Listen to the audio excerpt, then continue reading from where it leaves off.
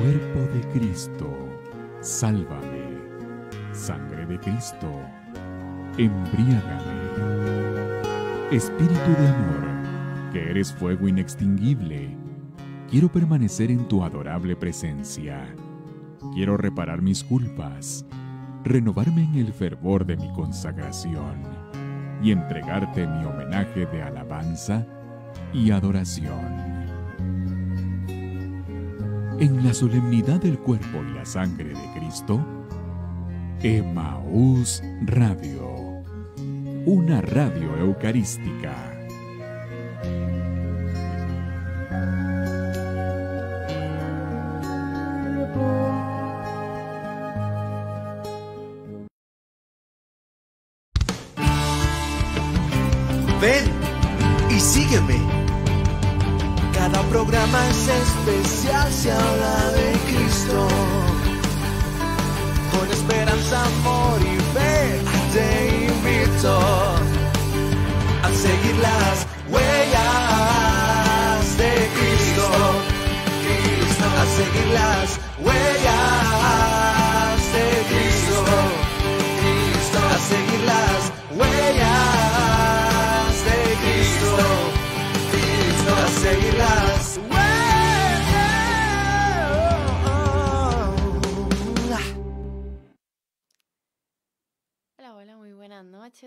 Amigos, hermanos, bienvenidos a su programa Ven y sígueme. Les saluda María José Casado y es para mí una alegría, una bendición estar compartiendo contigo en esta noche este programa acerca de los sacramentos.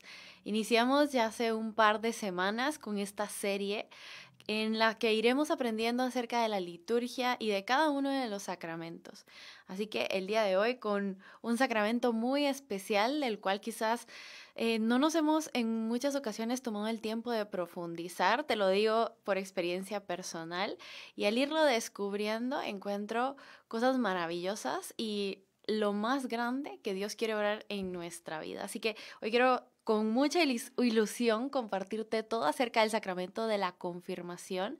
Y como siempre vamos a ponernos en la presencia de Dios y vamos a pedirle al Espíritu Santo, que es el protagonista también de este sacramento, que venga a iluminar nuestras mentes, nuestros corazones y que nos ayude a dar fruto eh, muchos efectos sacramentales de, de la confirmación que muchos de quienes han, escuchan este programa ya han recibido. Así que quiero invitarte a que juntos digamos en el nombre del Padre, del Hijo y del Espíritu Santo. Amén. Señor, te damos infinitas gracias por amarnos, gracias por el don de cada uno de tus sacramentos. Te pedimos que nos acompañes en este día, nos acompañes en esta noche, Señor. Yo te encomiendo a cada una de las personas que nos sintonizan en este momento.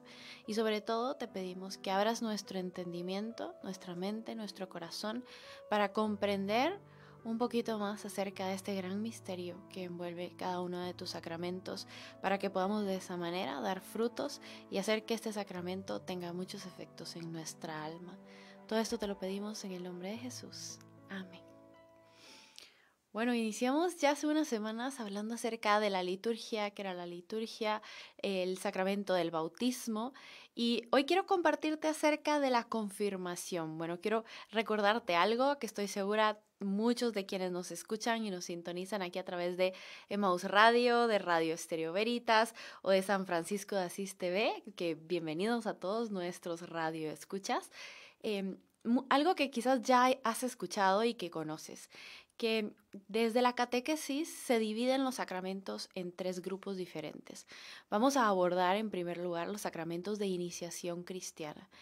Esto es importante porque el sacramento de la confirmación va a ir de alguna forma complementando el sacramento del bautismo y va a ir llevando a plenitud junto con la Eucaristía, llevándolo a la eficacia máxima y plena, de acuerdo a lo que dice el catecismo, eh, esta iniciación cristiana. Así que este sacramento es sumamente importante. El catecismo nos dice que todos los católicos que han llegado al uso de razón con una madurez en la fe están obligados a buscar este sacramento. Así que importantísimo, más allá de que sea un requisito para otros sacramentos, como recibir el sacramento del matrimonio, del orden, eh, para ser padrino en, una boda, en una confirmación, en un bautismo, más allá que un requisito meramente canónico, así un poco eh, de escritorio, diría yo, pues tiene efectos en nuestra alma. Y de eso quiero hablarte el día de hoy.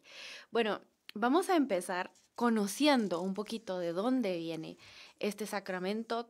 Yo me atrevería a decir que tampoco conocido, que no hemos como escudriñado lo suficiente, incluso en los cursos de preconfirmación, ¿no? antes que se reciben como preparación para recibir la confirmación, es poco eh, lo digo yo en mi experiencia desde eh, confirmanda, ¿no? Y posteriormente eh, apoyando también en catequesis de confirmación, es poco lo que podemos llegar a profundizar porque hay tantos temas importantes que queremos abordar con los jóvenes y en esa edad tan, tan necesaria. Acerca en sí de las gracias sacramentales. Se aborda algo, pero bueno, quizás es necesario una catequesis un poquito más profunda para poderlo comprender. Eh, esta catequesis es importante porque prepara a la persona, en este caso al joven, que generalmente se hace a partir de los 15 años, pero el catecismo en realidad dice, bueno, eh, a quien ya ha llegado a una cierta madurez, a un cierto uso de razón, eh, y en caso de necesidad o de una emergencia, hasta los niños pueden ser confirmados, ¿no? Entonces, bueno, habrá excepciones, pero lo ideal, ¿no? Y hablando desde la pastoral también, lo que la iglesia, como nuestra madre que nos acompaña, que nos guía, que nos quiere nutrir, formar en la fe, eh, nos sugiere, pues debe haber cierta, una cierta madurez y ya una cierta conciencia también de lo que estamos viviendo y yo, yo, me atrevería a decir a lo que nos estamos metiendo. Eh, bueno, ¿qué, ¿de dónde viene ¿no? la confirmación? Eh, cuando nosotros nos vamos al catecismo de la Iglesia Católica, nos habla desde el Antiguo Testamento.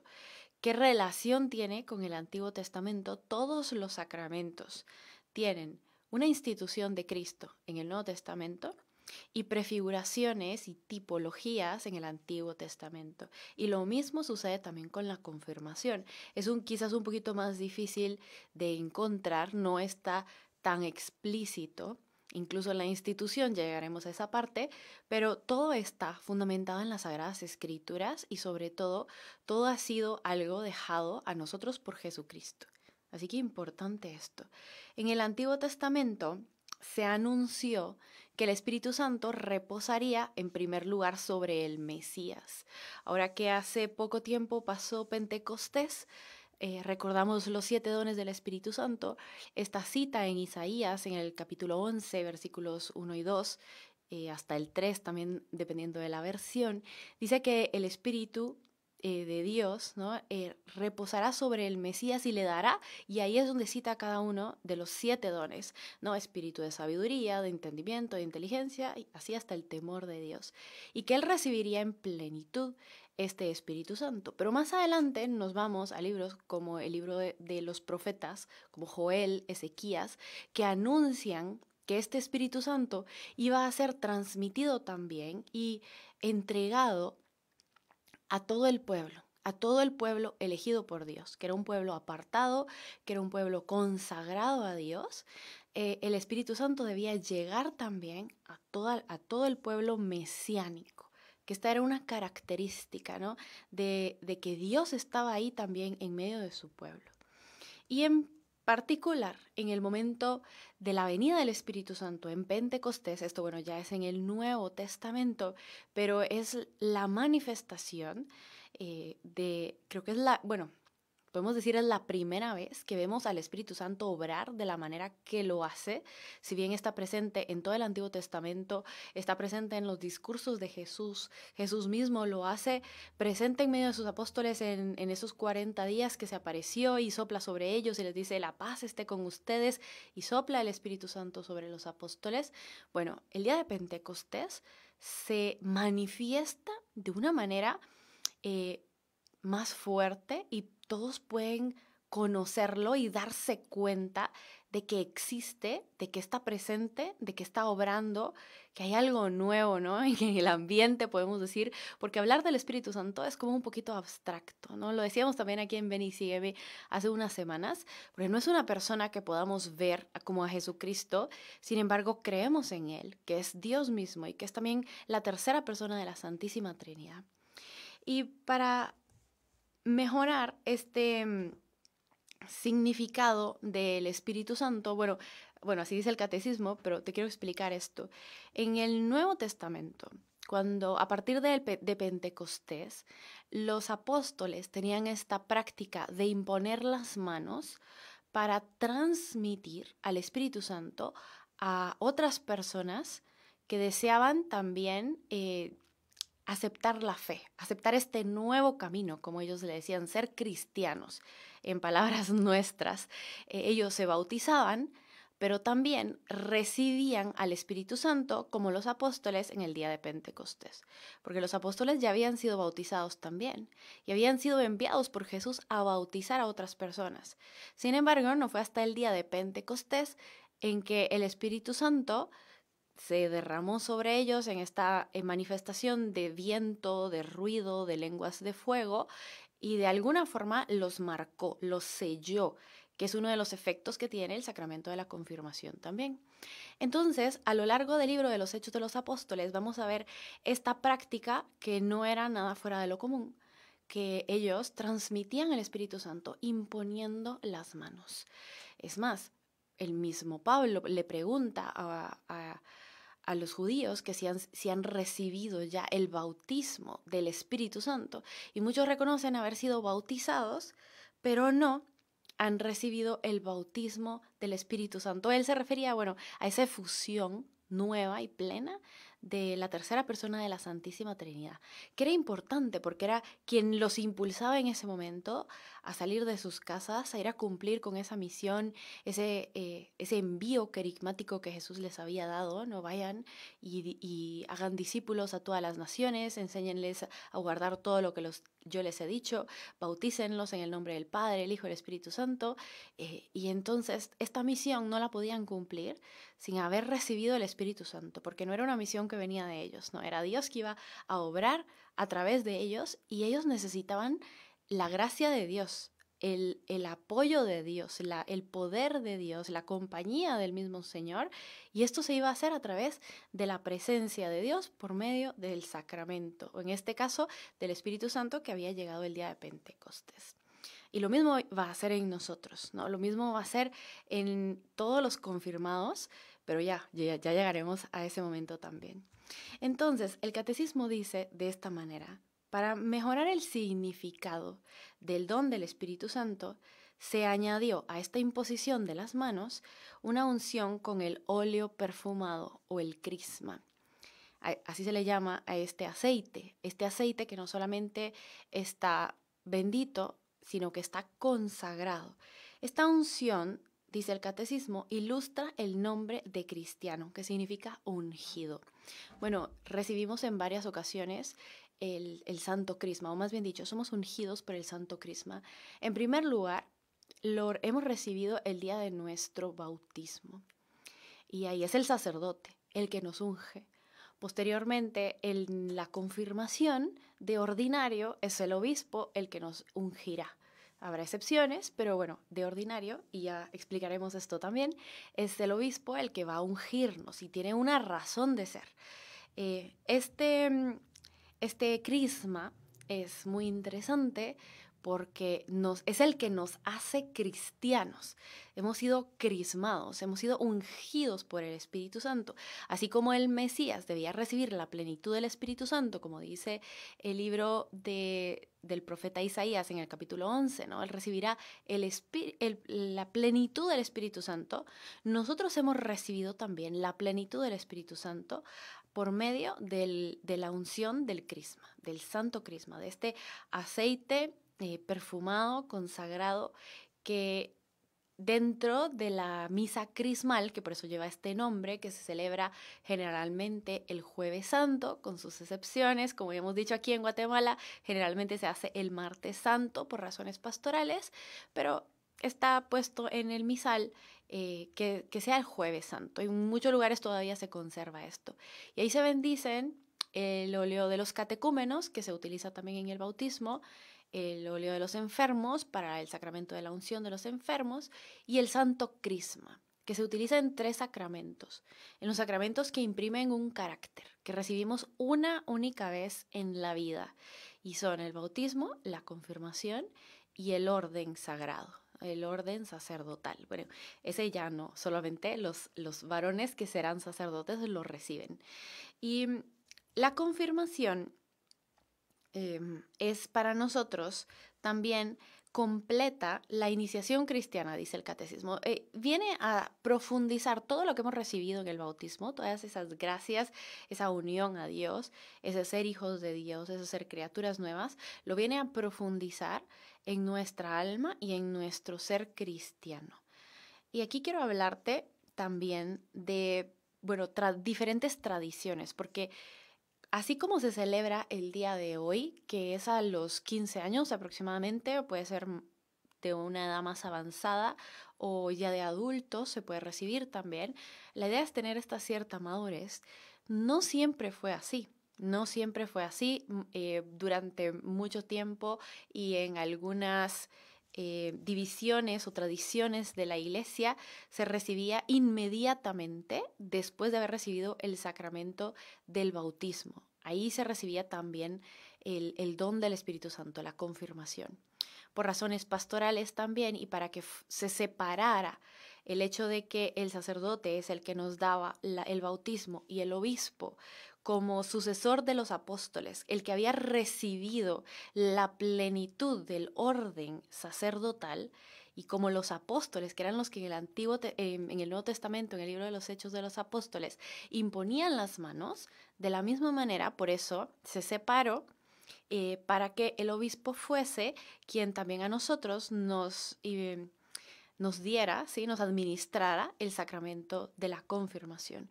Pero en los primeros siglos, nos cuenta el Catecismo de la Iglesia Católica, la confirmación constituyó una única celebración con el bautismo y se formaba con este y la expresión de San Cipriano un sacramento doble, así como, como dos en uno. Eh, porque uno venía a complementar al otro, venía a profundizarlo. Eh, más adelante, bueno, se, se, se llegó a la conclusión que era importante madurar en la fe, pero esa iniciación cristiana, para que llegara a plenitud, a concretarse como la iglesia lo espera, bueno, necesita de la confirmación y de la Eucaristía. Y si nos ponemos a pensar en nuestra edad cronológica, generalmente recibimos sacramento del bautismo, Luego nos preparamos para la primera comunión. Antes de recibirla, pues tenemos que ir a confesarnos. Ya recibimos el cuerpo y la sangre de Cristo, empezamos a tener una vida sacramental y eventualmente ya vamos a recibir esa plenitud que cierra en nosotros el sacramento de la confirmación. Eh, la plenitud de la iniciación cristiana.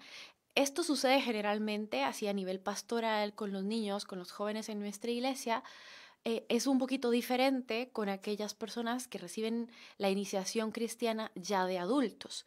Por eso ellos sí reciben de un solo, casi que el, el tres en uno, ¿no? el, el bautismo, la confirmación y para concluir esta iniciación y que sea completa, la Eucaristía. Entonces hacen la primera comunión en, ese misma, en esa misma celebración.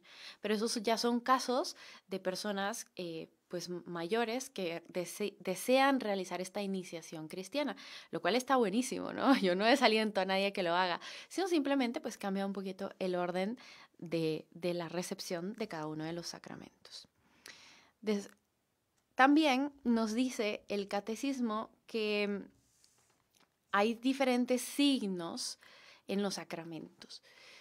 Hablábamos la semana pasada acerca del sacramento del bautismo, muy sencillo, porque sabemos que se bautiza con agua. La Eucaristía contiene pan y vino. Y ahora el sacramento de la confirmación, bueno, conlleva estos dos signos, el, signo de la imposición de manos y ya el rito esencial que es la crismación, la unción con el santo crisma.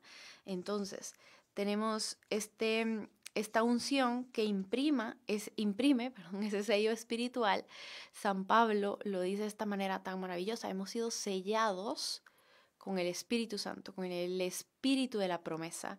Hemos recibido al Espíritu Santo eh, así como primicia de, nuestra salvación. Este hace la unción tiene varios significados. Recordemos que los sacramentos no solamente son símbolos, ¿no? O sea, esto, si el pan simboliza el alimento, no, el pan se convierte en verdadero alimento de nuestra alma, que es el verdadero cuerpo de Cristo. El agua no solo simboliza la pureza, la, la limpieza de los pecados, no, realmente lo realiza. Y esta unción del Santo Crisma no solamente representa algo, sino lo realiza en nuestra alma. Pero en el simbolismo bíblico hay varios momentos, varias razones por las cuales se ungía a las personas o se utilizaba el aceite. Vamos a nombrar alguna de ellas. Bueno, el aceite es signo de abundancia, de alegría, de purificación. Se ungía antes y después de un baño, que daba agilidad también a los atletas eh, y a los luchadores, es signo de curación, por eso se utiliza también para el sacramento de, los enfermos, ¿no? de la unción de los enfermos, porque suaviza las contusiones y las heridas, esto nos dice el catecismo, y el ungido irradia belleza, santidad y fuerza. Bueno, estos son los significados que tenía en, en la Biblia, sobre todo este simbolismo bíblico y antiguo de cuando se utilizaba. A esto podemos agregar que en el Antiguo Testamento, cuando se elegía a un profeta, cuando se elegía a un rey, cuando se elegía a los sacerdotes y se consagraban a Yahvé, también recibían una unción y había un cuerno que se llenaba de aceite y luego se les vertía sobre la cabeza, que era el cuerno de la unción. Y más adelante, cuando ya se, se, hicieron, se hizo el templo, ¿no? Y habían altares consagrados para hacer los, los sacrificios para Dios, también eran ungidos con aceite, porque eran de alguna forma consagrados para el culto divino, únicamente con esa función sacerdotal, con esa función eh, litúrgica y religiosa. Entonces, ¿qué sucede en nosotros? ¿Qué sucede en nuestra alma?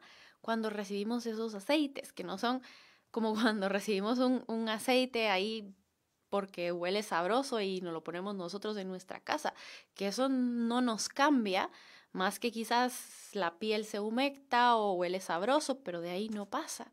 En cambio, el, la unción con, con, estos elementos que conforman los sacramentos generan un cambio en nuestra alma.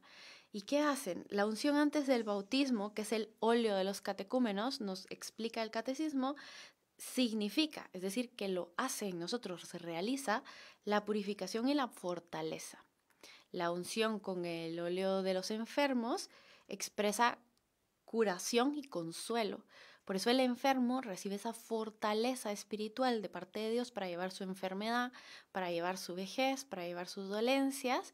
Y en algunos casos, este sacramento le restaura la salud a la persona. En algunos casos, dice el catecismo, cuando conviene a la persona que lo recibe. Y la unción del santo crisma después del bautismo en la confirmación y en la ordenación, que son los tres sacramentos en los cuales se recibe el Santo Crisma, es el signo de una consagración. ¿Y qué significa esto para nosotros? Que somos apartados para Dios, que somos propiedad de Dios, que se nos ha marcado con el sello de nuestra salvación, de la redención, que Dios ha dicho que somos de Él y por lo tanto Él cuida de nosotros, Él nos quiere salvar, Él nos quiere llevar al cielo, no como quien se toma un objeto y se quiere apropiar de Él porque es mío, sino que lo hace por amor por cuidarnos, por protegernos, por librarnos del mal, ¿no? Entonces somos consagrados a Dios y sellados por el Espíritu Santo. Eh, y esto es muy bonito porque realmente nos hace ver lo mucho que le importamos a Dios y lo bajo sus alas, alas que estamos, como dicen tanto los, los, los salmos, ¿no? Estamos realmente cubiertos bajo la presencia de Dios todo el tiempo y es el Espíritu Santo el que habita, el que mora en nosotros y que nos acompaña todo el tiempo. Ya no nos pertenecemos a nosotros, ya no somos de este mundo, hemos sido apartados y consagrados para Dios. Por eso la recepción de los sacramentos y sobre todo el haber sido iniciados en este caminar cristiano conlleva, como también hablábamos la semana pasada, eh, ciertas eh, responsabilidades, ciertas gracias, ciertos derechos. Y hoy vamos a hablar de uno muy importante que es muy, muy bonito. Este ser consagrados a Dios, ser propiedad de Dios, debemos de verlo como eso, como un acto de amor de Dios, que le pertenecemos a Él.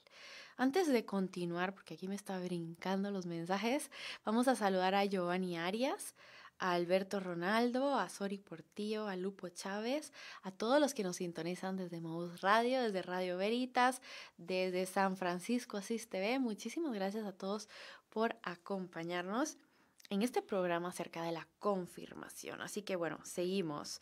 Em, tenemos en la celebración de la confirmación la consagración del Santo Crisma. Esta, esta consagración, como te decía antes, bueno, yo aquí voy siguiendo la estructura del catecismo para irte contando un poquito acerca del sacramento, se hace en la misa crismal, el jueves santo.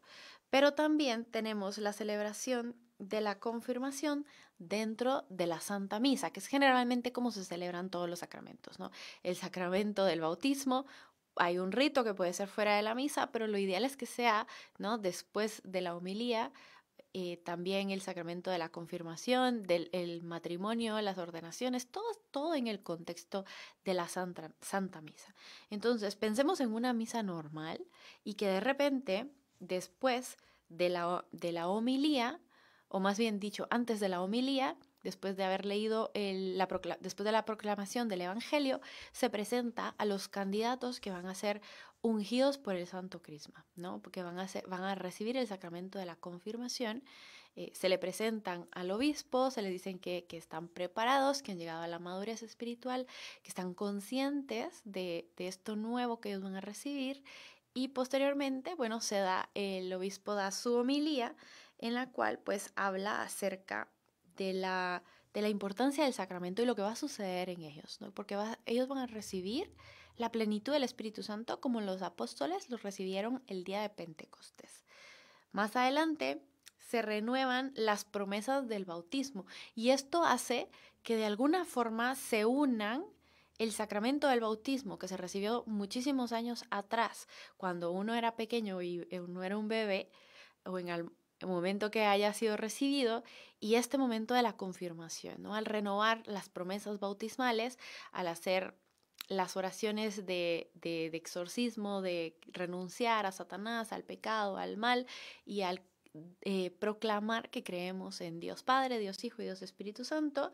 Eh, y más adelante también se el sacerdote, bueno, ya extiende las manos, dice el catecismo de nuestra Iglesia Católica, sobre los confirmandos, este gesto, que era el mismo que los apóstoles tenían para transmitir el signo del don del Espíritu Santo. Y así el, obispo invoca al Espíritu Santo y se da esa efusión, ¿no? Que fue lo mismo que sucedió el día de Pentecostés. Ahí ellos estaban reunidos en oración, Ahí nadie estaba imponiendo las manos, no porque fueron los primeros en recibirlo y ellos más adelante para poder transmitirlo a otras personas, pues lo iban haciendo por medio de la imposición de las manos. Luego viene el rito esencial del sacramento. El rito esencial es conferido por la unción del Santo Crisma en la frente hecha imponiendo la mano y con estas palabras. Recibe por esta señal el don del Espíritu Santo. Y concluye con eh, lo que aquí nos dice el catecismo, bueno, es como un rito de la paz o el beso de la paz, que significa y manifiesta la comunión eclesial que existe entre este confirmando, entre esta persona que está concluyendo su iniciación cristiana con el obispo y con todos los fieles y que lo vemos manifestado de diferentes maneras, no con una palmada en, la en el hombro, en la mejilla, eh, el beso de la paz, bueno, podría ser como algún otro gesto, ¿no? De recepción de esta nueva persona que ha sido, que ha recibido ya la plenitud de su iniciación cristiana. Este sacramento es muy bonito porque tiene varios efectos. Pero bueno, antes de ir a los efectos, ¿quién puede recibir el sacramento de la confirmación? Todos los bautizados que aún no hayan sido confirmados, porque solo, solamente una vez lo podemos recibir. ¿Y quién es el ministro ordinario del sacramento? Originario de la confirmación es el obispo.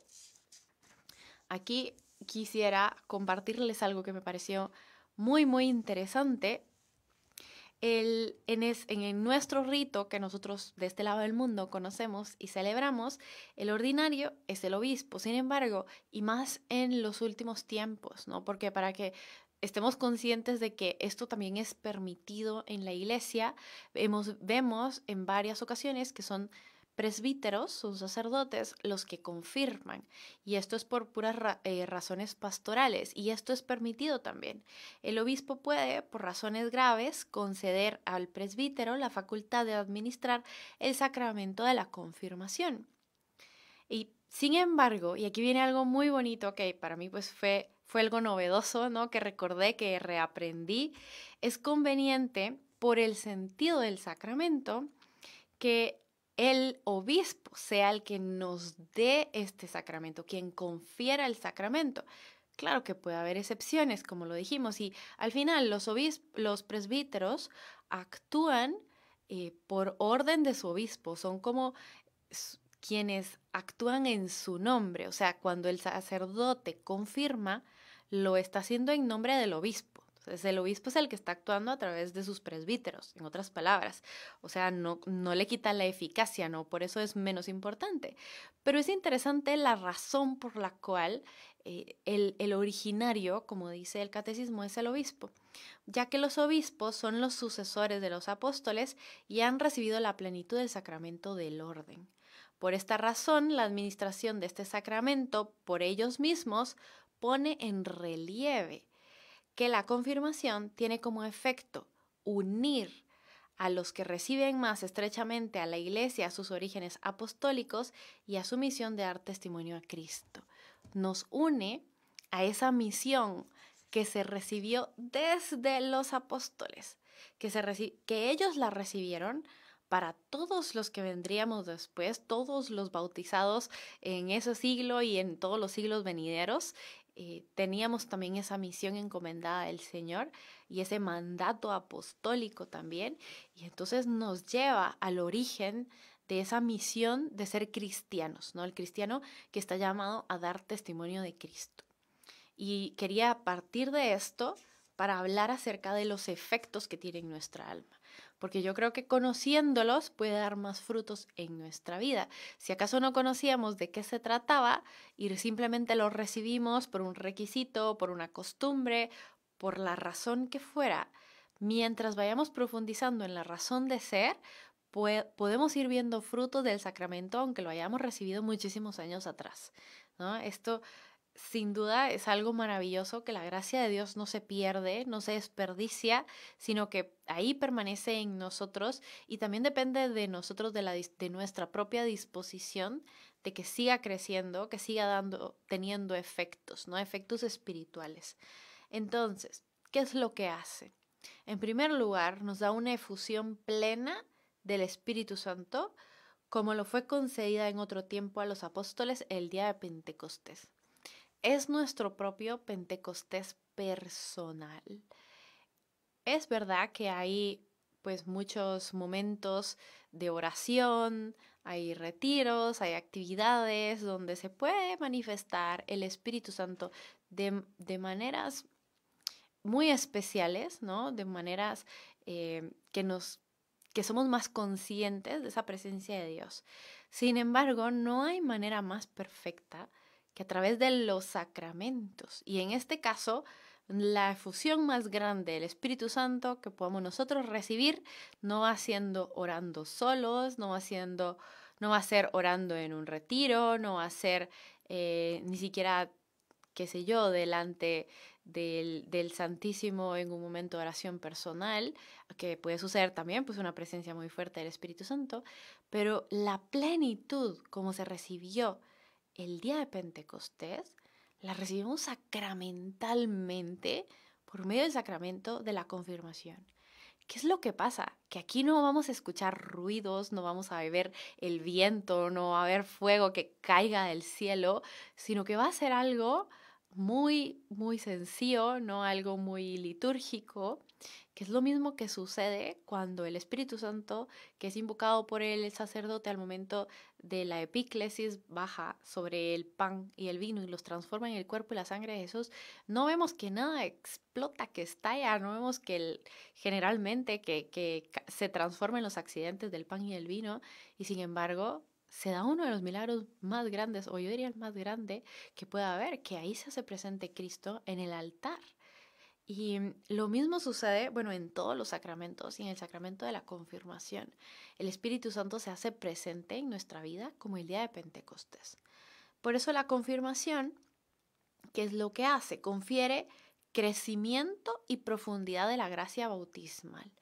Decíamos la semana pasada que el bautismo nos da la gracia santificante, que es la que nos hace estar... Eh, decir, bueno, que estamos en gracia, que estamos en comunión con Dios, que es la gracia también de la justificación, que nos da la capacidad de creer en Dios, de esperar en Él, de amarlo, que nos confiere también los dones del Espíritu Santo, que nos introduce en esta filiación divina con el Padre, que nos hace templos del Espíritu Santo. Bueno, todo eso ya lo hemos recibido, por decirlo de alguna manera, desde el bautismo. La confirmación viene a llevarnos a un crecimiento y profundización, profundidad de esto. Hace ese vínculo con Dios, con la Santísima Trinidad y con la Iglesia mucho más fuerte, ya como con una fe más madura, más consciente, más libre, más voluntaria. Por eso es que se nos pide que sea también cuando ya hay una cierta madurez espiritual y un cierto uso de razón. Profundiza la filiación divina, nos une a Cristo, aumenta en nosotros los dones del Espíritu Santo, hace más perfecto el vínculo con la iglesia. Y luego hay algo muy bonito, muy propio de este sacramento que dice, nos concede una fuerza especial del Espíritu Santo para difundir y defender la fe. Escucha esto, difundir y defender la fe. Una fe que no es solo para mí, sino que es para que otros la conozcan también. Difundir mi fe de muchas maneras, desde nuestra propia realidad, ¿no? A mí me tocaba aquí a veces compartirte algunas cosas, pero cuando yo voy al supermercado, pues no me voy a poner con un micrófono a hablar, ¿no? ¿Cómo puedo yo difundir mi fe? Bueno, con mi manera de ser, mi manera de actuar, de tratar a las personas, ¿no? Pues con el testimonio y con las palabras. Precisamente de eso habla aquí el catecismo difundir y defender la fe mediante las palabras y las obras, como verdaderos testigos de Cristo. Recordemos que la palabra mártir viene de esta palabra testigos, aquellos que dieron testimonio de su fe hasta la muerte. Nosotros estamos llamados a dar nuestra vida también por la fe, a dar testimonio de nuestra fe y para eso necesitamos la ayuda de Dios. No siempre es fácil. Tenemos que ir contracorriente, tenemos que abandonar el que dirán, la vergüenza, la pena. Eh, lo dice incluso, aquí dice el catecismo, para confesar valientemente el nombre de Cristo y no sentir jamás vergüenza de la cruz vergüenza de ser cristiano, de que van a pensar los demás que no piensan igual que yo, que no viven como yo. Entonces el sacramento de la confirmación viene a darnos esta valentía, este empuje un poquito diferente, que fue lo mismo que le sucedió a los apóstoles, ¿no? Ellos estaban encerrados con miedo de ser los próximos mártires y lo terminaron siendo, pero lo hicieron, lo llegaron a hacer valientemente porque ya habían recibido al Espíritu Santo, que era quien los estaba sosteniendo y dándole su gracia. Entonces a nosotros también, a partir de la confirmación, estamos llamados a dar un testimonio mucho más grande, mucho más fuerte de nuestra fe, con palabras y con obras. No dice con palabras u obras, no, dice palabras y obras, con ambas, en el momento oportuno, en el lugar oportuno, pero estamos llamados a, dar testimonio de ambas. Bueno, antes de continuar, saludos ahí a Vivian Gillette, a Héctor, Argueta que nos dice que en la palabra de Dios encontramos, ahora cuando los apóstoles en Jerusalén escucharon que Santa María había recibido la palabra de Dios, a ver, aquí lo leemos, eh, enviaron a Pedro y a Juan que descendieron y oraron por ellos para que pudieran recibir el Espíritu Santo, porque aún no había caído sobre ninguno de ellos, pero solo habían sido bautizados. Confirmando, sí, correcto, sí, sí, era lo que decíamos antes, ¿no? Habían recibido el bautismo, ya habían iniciado ese su caminar en la fe, porque era lo primero que Jesús dijo, bueno, el que se bautice se salvará, ¿no? O sea, era una condición para la salvación bautizarse. El que bautice se salvará, porque nos da esa gracia. Esa gracia santificante y nos libera de todos los pecados. Sin embargo, pues necesitaban eh, recibir esta plenitud de la iniciación cristiana, esa plenitud de la presencia del Espíritu Santo. Saludos a Iris Ventura, a Servio Rivas, a Juliana, Juliana Velázquez. Muchísimas gracias a todos por su sintonía. Gracias por acompañarnos en este programa de Ven y Sígueme. Bueno, seguimos, ya casi vamos llegando al final. Eh, también, aparte de de profundizar las gracias del bautismo, nos da, nos imprime este sello, este sello del Espíritu Santo, este carácter, que es una marca espiritual indeleble o un carácter que como hemos dicho ya habíamos recibido antes en el bautismo. Este carácter es signo. Cuando eh, se nos habla de signo, no es que representa algo, sino que lo realiza en nosotros, lo, es eficaz. Por eso en la definición eh, como tal de los sacramentos es que son, son signos eficaces, por medio de los cuales recibimos la gracia de Dios eficaz porque Dios está actuando en ellos. Bueno, es signo de que Jesucristo ha marcado al cristiano con el sello de su espíritu, revistiéndolo de la fuerza de, los, de lo alto para que sean sus testigos. Recordemos en el libro de los Hechos de los Apóstoles, en el capítulo primero, antes de la ascensión Jesús les dice, recibirán poder de lo alto para ser mis testigos en Samaria, en Jerusalén y hasta los confines de la tierra les está anunciando que van a recibir al Espíritu Santo de esa manera más palpable, más personal, más que, que les va a hacer, les va a transformar, ¿no? Para que ellos sean diferentes en su transmisión de la fe. Y lo, es lo mismo que sucede, no podemos pensar solo a la que dichosos ellos ahí antes de la ascensión o los que conocieron a Jesús de primera mano eh, hace dos mil años, solo ellos recibieron esa difusión plena del Espíritu Santo, ¿no? Tan bueno ha sido Jesús que ha querido también que nosotros lo recibiéramos y por eso nos ha dejado este sacramento y lo ha instituido para nosotros. Santo Tomás de Aquino dice que Jesús no instituyó el sacramento realizándolo, sino prometiéndolo.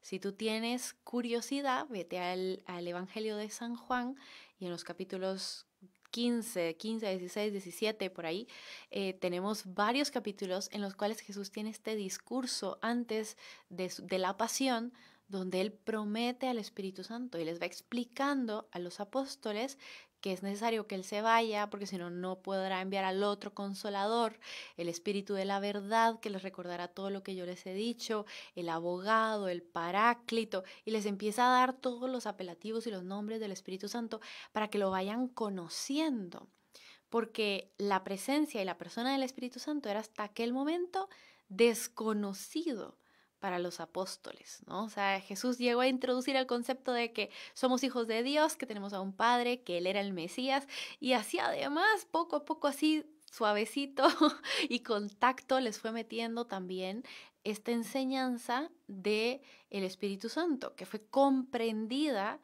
después de Pentecostés. Ya Jesús ya había ascendido a los cielos. Entonces, eh, me encanta esta definición de Santo Tomás. Jesús instituyó el sacramento, sacramento no realizándolo, sino prometiéndolo o anunciándolo.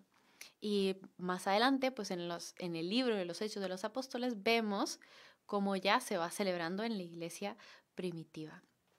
Bueno, y también este carácter, ¿no? esta unción con el Santo Crisma, esta, este sello del Espíritu Santo, que somos consagrados apartados para Él, perfecciona el sacerdocio común de los fieles recibido en el bautismo. Nosotros que estamos llamados a ser reyes, profetas y sacerdotes. Y tenemos este sacerdocio común que hace que podamos también, lo veíamos, te lo compartía en, la, en el primer programa que tuvimos acerca de la liturgia, que en la liturgia es esa asamblea de todos los convocados, de todos los que han sido llamados por Dios, pero que en la liturgia actúa Cristo. Cristo le llamamos el Cristo total, que es Cristo cabeza, Jesucristo, y son los, somos los miembros del cuerpo de Cristo, o sea, nosotros, todos los bautizados, en la liturgia estamos todos presentes y todos ofrecemos, todos participamos. Por eso nosotros no vamos a la misa únicamente a ver, a escuchar, a ver qué está sucediendo. No, somos parte también de esa celebración. Claro, las funciones son diferentes, la del sacerdote ordenado, ¿no? Del ministro ordenado y nosotros los que tenemos este sacerdocio común de los laicos.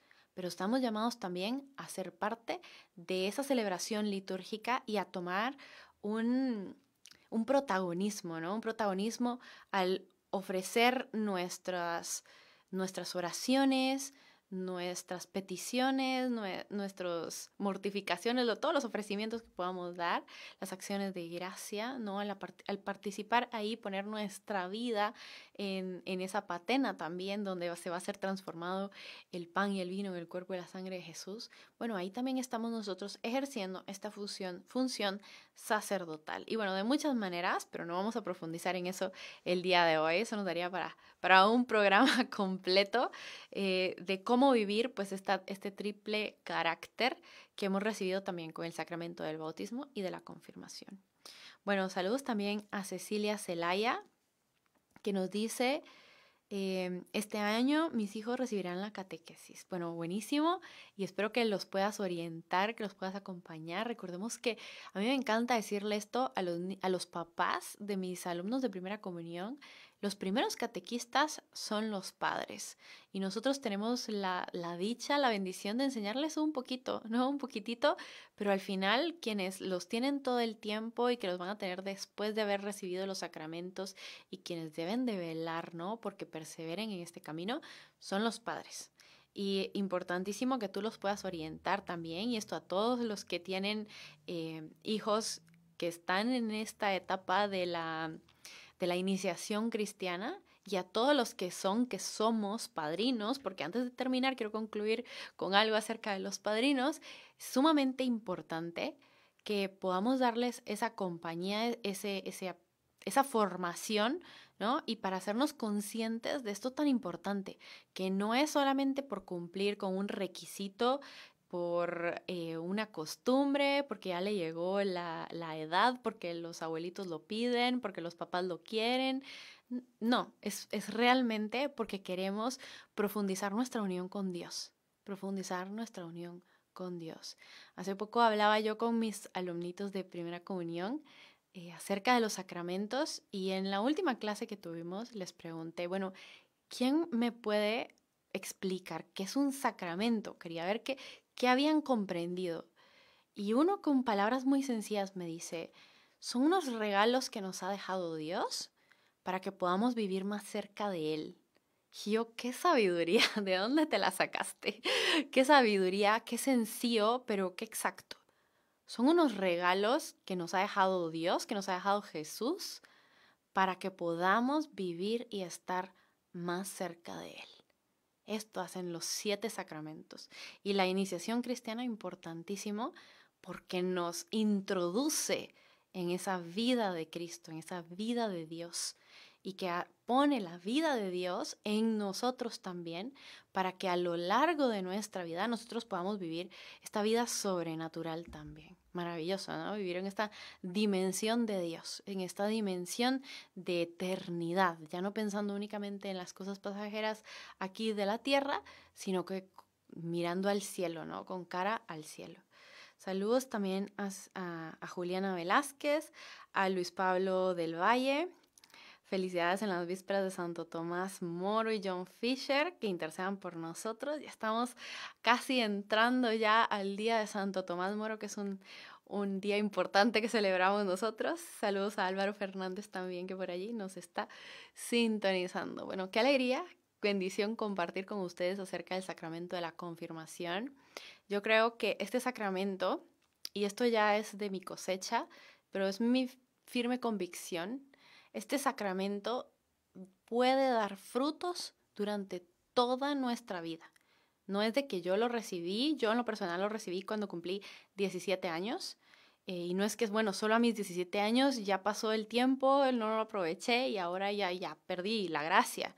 No, conforme nosotros vayamos trabajando por hacer crecer esta gracia también, la gracia fue depositada en nosotros. Ahora es hacer que, que se nos note, ¿no? que, se, que, que dé muchos frutos en todo lo que nosotros hagamos, que podamos vivir más íntimamente unidos a Dios, que podamos eh, tener esta eh, dejarnos llevar, ¿no? Impulsar por esa fuerza especial del Espíritu Santo para dar testimonio de Cristo con obras, con palabras, con nuestra manera de vivir, de ser. Eh, y sobre todo, pues poder recordar que somos propiedad de Dios. A mí esto me encanta, me encanta porque no nos pertenecemos a nosotros y, tenemos que recordar que ya no debemos de vivir para nosotros, ¿no? Como lo decía San Pablo, ya no soy yo el que vive, es Cristo el que vive en mí. Él nos lo dejó muy bien explicado, que este es el, el fruto de estos sacramentos de iniciación. Ya no somos de nosotros para nosotros, sino que somos de Él para lo que Él quiera de nosotros. Bueno, esto es seguir los pasos de nuestra Madre, la Santísima Virgen María, ¿no? Decirle al Señor todos los días, hágase en mí como tú dices. Y les decía que quería terminar eh, hablando acerca de los padrinos, de los padrinos de la confirmación, de los padrinos del bautismo, porque cuando el catecismo nos habla de quién puede recibir el sacramento, muy sencillo lo dice cualquier bautizado que aún no haya sido confirmado. Pero bueno, nos va hablando acerca de lo importante que es la preparación, de hacernos conscientes del sacramento. Esa preparación involucra pues también la conversión, ¿no? o sea, llevar al joven a reflexionar acerca de diferentes aspectos de su vida, diferentes temas que son de importancia también para que encuentre, ¿no? Esa a Dios en su camino y que pueda eh, buscar esa conversión. Pero, y, y que es importante que esta, que esta persona que reciba el sacramento se encuentre en estado de gracia y que se prepare con la oración, con la oración para recibir la fuerza y la gracia del Espíritu Santo. Pero también conviene, y aquí es algo importante, porque el día que alguien te diga, ¿quieres ser mi padrino, mi madrina de confirmación?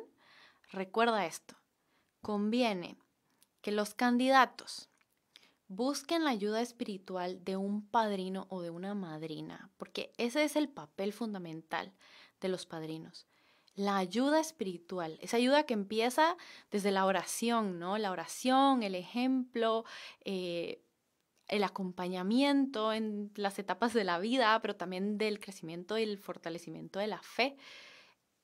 Conviene que los candidatos busquen la ayuda espiritual de un padrino o de una madrina. Cuando alguien nos dice, yo quiero que tú seas mi padrino, mi madrina, nos está pidiendo no solamente que firmemos un papel, que seamos un testigo de, un sacramento, que entreguemos nuestra constancia de confirmación para que cumpla los requisitos, no es eso.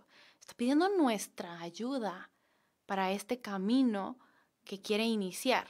Lo haga consciente o no, ese es el papel que nosotros deberíamos de asumir.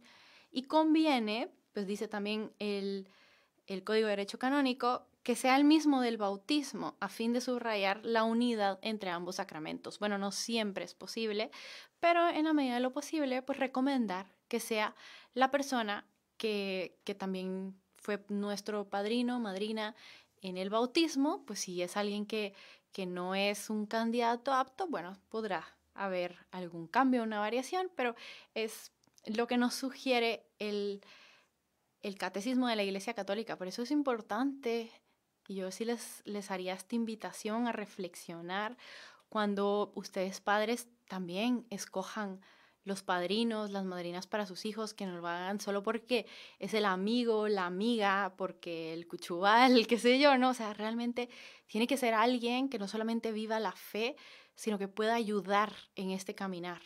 E, es, una, es un papel muy importante, muy, muy importante, y Dios nos pedirá cuentas también de lo que hicimos por nuestros ahijados y nuestras ahijadas. Entonces, asumirlo con la responsabilidad que conlleva no como un papelito que se entrega ahí, y quiero hacer mucho énfasis en esto, que se entrega ahí en la, en la secretaría de la parroquia. Es muchísimo más que eso. Los sacramentos son muchísimo más que requisitos que hay que cumplir o que llegó el tiempo de cumplir o porque la celebración o el, el desayuno después de la primera comunión o después de la confirmación o después de la boda. No, los sacramentos son esos regalos que Dios nos ha dejado para que vivamos más íntimamente unidos a Él y podamos cumplir con la misión para la cual Él nos ha puesto en esta tierra. Así que espero que lo guardemos en el corazón, que sigamos dando frutos de esos sacramentos que hemos recibido o recibimos cada día y que podamos enamorarnos y tener la inquietud de conocerlos más. Así que espero que estos programas también te vayan ayudando, compártelos si puedes con otras personas para que conozcan también acerca de cada uno de ellos. Muchísimas gracias a todos los que nos sintonizan desde Maus Radio, desde Radio Stereo Veritas, desde San Francisco TV. Eh, gracias por acompañarnos, que el Señor les bendiga y vamos a terminar como siempre haciendo nuestra oración. Quiero invitarte a que juntos digamos en el nombre del Padre, el Hijo y el Espíritu Santo. Amén. Señor, hoy queremos darte gracias por el don de los sacramentos, por el don de tu Espíritu Santo que hemos recibido en los sacramentos y en particular en el sacramento de la confirmación. Ayúdanos a que esta presencia tuya muy particular en nuestra alma de frutos abundantes siga dando frutos todos los días de nuestra vida, hasta el último momento, hasta el último respiro. Te encomendamos, Señor, a cada una de las personas que nos sintonizan. Tú conoces, Señor, sus vidas, sus corazones, sus necesidades y el día de hoy ponemos sus corazones y su gracia también en tus manos, para que tú hagas crecer tu gracia en nosotros, para que tú nos lleves al cielo junto a ti y que podamos vivir como verdaderos hijos tuyos. Todo esto te lo pedimos en el nombre de Jesús. Amén. Muchísimas gracias a todos, que el Señor les bendiga y si Dios nos lo permite, nos escuchamos la próxima semana. Feliz noche.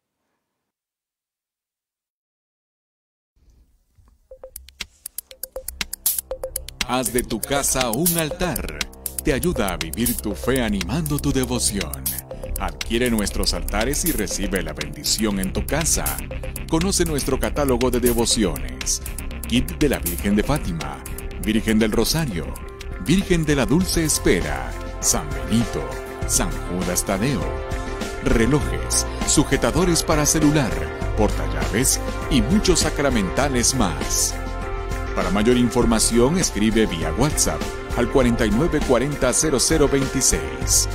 Haz de tu casa un altar, un regalo que puedes hacer a quien lo necesite, un detalle para toda la vida, una bendición que traerá más bendición. Pide tu catálogo al 49400026.